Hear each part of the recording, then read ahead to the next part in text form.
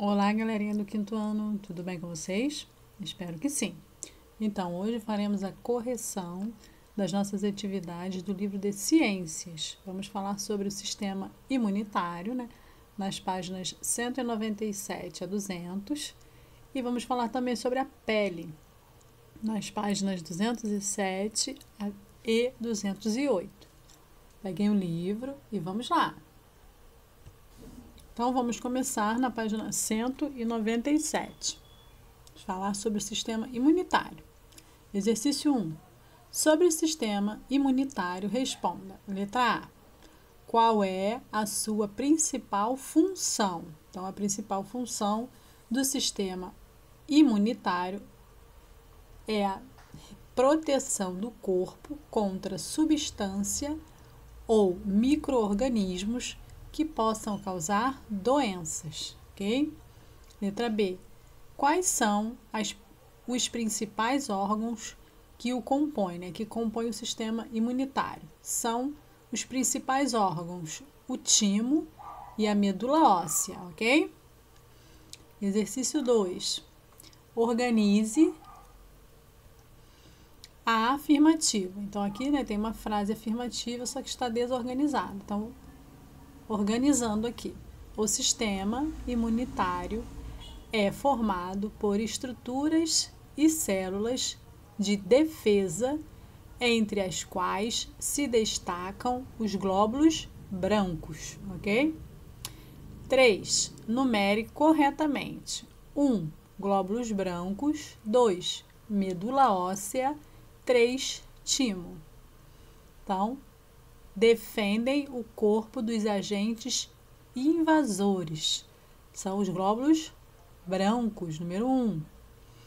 É um órgão que abriga alguns glóbulos brancos até eles amadurecerem e ficarem prontos para defender o corpo. É o timo.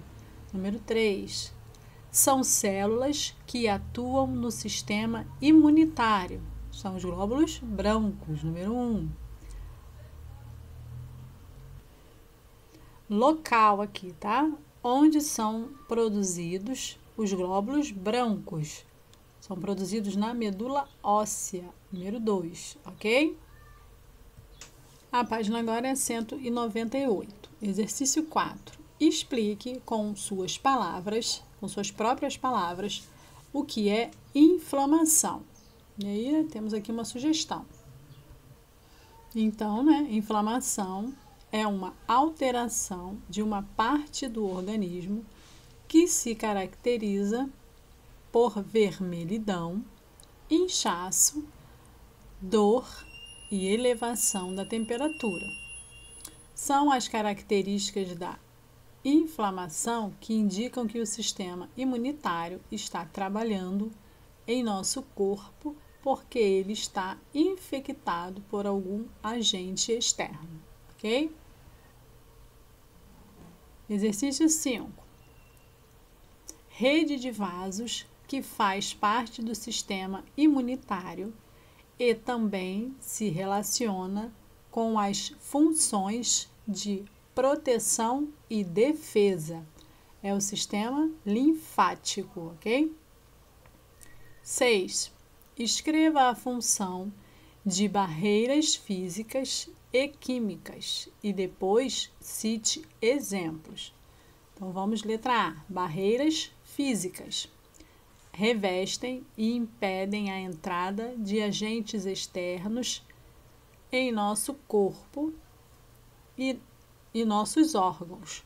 São exemplos: a pele e as mu e mucosas, ok? B Agora, as barreiras químicas destroem ou dificultam o desenvolvimento de agentes externos em nosso corpo. São exemplos: suor, inflamação, sucos gástricos, lágrimas e saliva. Então, são as funções, né? Das barreiras físicas e das barreiras químicas. 7. Faça uma pesquisa e descubra em seu e descreva em seu caderno a importância do aleitamento materno para o sistema imunológico do bebê. E aí, né, vocês terão que pesquisar sobre a importância do aleitamento materno, como nós falamos na nossa aula, né? Que é ele quem vai fortalecer esse sistema imunitário do bebê, né? Através do leite, né? Da mãe que passa essa, essa defesa para o bebê, ok? Agora na página 199, exercício 8. Faça uma pesquisa em livros e na internet e explique como o sistema imunitário age quando é atacado por um mesmo agente externo, como a gripe, por exemplo. E aí vocês podem colocar com as palavras de vocês. Aí temos só uma ideia de resposta, né? Então, o sistema imunológico é capaz de memorizar. Lembra que eu falei na aula? O anticorpo utilizado para combater cada agente externo. Assim, quando o corpo é novamente atacado pelo mesmo agente externo, o sistema imunológico age muito mais rapidamente, ok? Exercício 9. Escreva sobre as partes do corpo humano que atuam em sua proteção. Aí temos uma sugestão, né? Que o corpo humano tem diversos sistemas, órgãos e células que atuam em sua em nossa, né, proteção e defesa contra agentes externos que podem causar dano à nossa saúde, ok? 10. Fale sobre as defesas do organismo e dê exemplo de cada uma. Agora vamos falar das defesas naturais e artificiais, né? Defesas naturais são aquelas produzidas pelo próprio organismo. Exemplo: ossos, sistema imunitário, pele, saliva, suor, sucos gástricos, glóbulos brancos, entre outros.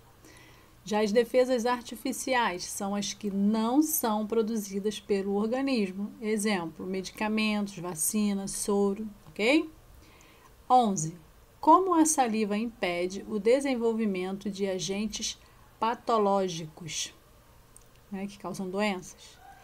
Então, as, a saliva contém substâncias que matam bactérias e impedem o des desenvolvimento, o desenvolvimento dos agentes patológicos, ok? Página de número 200. Exercício 12. Pesquise e escreva o nome de medicamentos que você usa. E ao lado, qual é a sua função? É limpar, se é sarar, se é evitar infecções, se é proteger, e aí vocês vão perguntar para a mamãe, né? De repente, o nome de algum medicamento que vocês usam ou já usaram, né? E qual era a função desse remédio, né? Era limpar, era curar de alguma doença, era para proteger de alguma, né? Para aumentar as suas defesas, ok? E aí vamos escrever aqui na número 12. 13. Analise a cena e responda as questões a seguir. Letra A. A forma de defesa artificial mostrada acima é composta de microorganismo, né? Como nós falamos na aula que as vacinas são compostas de microorganismos mortos ou inativos, ok? B. Como a vacina protege o nosso organismo de doenças? Explique. Aí vamos lá. Quando uma pessoa é vacinada, recebe microorganismos mortos ou inativos, né? Causadores das doenças, que são capazes de fazer com que o corpo adquira imunidade. Eles agem estimulando o sistema imunitário a produzir e memorizar anticorpos capazes de agir contra as doenças antes mesmo de a pessoa apresentá-las. Na verdade, trata-se de uma forma de prevenção da doença, ok? E vocês podem usar as palavras de vocês também, ok? Mas não pode fugir da ideia. Agora, na página 207, vamos falar sobre a pele. 1. Um, responda. Qual é, o, o, qual é o maior órgão do nosso corpo? É a pele. Letra B. Quais são as camadas da pele? São a epiderme, a derme e a hipoderme, ok? 2. Complete. Para proteger nosso corpo de invasores, entram em ação o sistema imunitário e a pele. Ambos estabelecem mecanismos que evitam que os agentes invasores causem infecções ou agressões que, que prejudicam o funcionamento do nosso organismo, ok? 3. Marque V para as afirmativas verdadeiras e F para as falsas. Primeira afirmativa: a pele possui capacidade de se regenerar e recuperar-se de lesões como córteis. Verdade, né? Próxima afirmativa: a pele é o menor órgão do corpo. Falso, né? O maior. Próxima: a pele nos protege e nos informa sobre as sensações que ocorrem ao nosso redor. Verdade, né? Próxima, o pâncreas ajuda a controlar a temperatura do corpo. Falso, né? Não é o pâncreas, né? São as glândulas, as glândulas sudoríparas, ok? Que ajudam a regular a temperatura do corpo. E a última, nossa pele é recoberta de pelos. Verdade, né? Página agora 208. Exercício 4.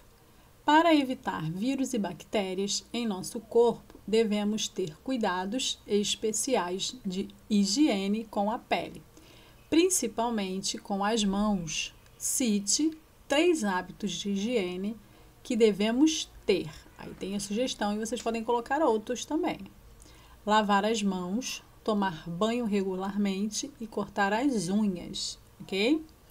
Exercício 5.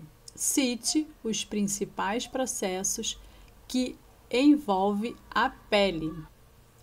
Vamos lá. Então, a produção de vitamina D, isto é, quando exposto à radiação benéfica do sol, né, no horário correto, dificulta a entrada de microorganismo patogênico no organismo, né, alguma bactéria, algum vírus, e evita a perda excessiva de água, né, a desidratação, ok? 6. Qual é o médico especialista em cuidados com a pele? É o dermatologista, ok? 7. Escreva o nome de três doenças que podem aparecer na nossa pele. Aí temos, né, sugestões aqui. A miliaria, miliária, né, que são as brotoejas, eczema e verruga. Podem colocar outras opções também, outras doenças, ok? 8. Cite alguns fatores que provocam a ativação do vírus da herpes. Alguns fatores que provocam a ativação do vírus da herpes são o sol em excesso, estresse e doenças respiratórias, ok? E a número 9, como se dá a transmissão da verruga? As verrugas são auto-inoculáveis, né? Podem se, podem se disseminar pela pele através do contato das lesões com áreas não atingidas e transmitidas pelo contato direto com pessoas contaminadas. E aí vocês não precisam estar colocando né, também todas. A pergunta é só como se dá a transmissão. Então, ela é transmitida né, pelo contato direto com pessoas contaminadas, ok? E assim chegamos ao fim da nossa correção do livro de ciências e do nosso livro de ciências também. Encerramos o nosso livro de ciências. Ok? Fiquem bem e se cuidem.